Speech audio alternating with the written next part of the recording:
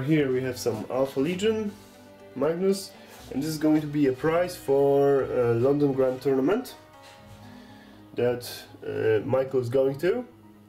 So you can high five him if you're gonna be there.